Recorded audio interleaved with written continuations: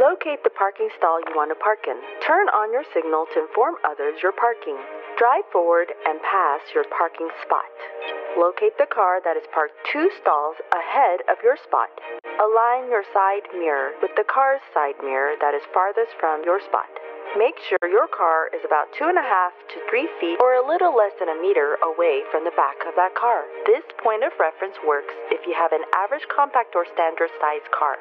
If your car is a little longer, you'll need to drive up about two and a quarter or two and a half vehicles ahead instead of just two. Now check your mirrors to make sure there are no other cars or pedestrians approaching.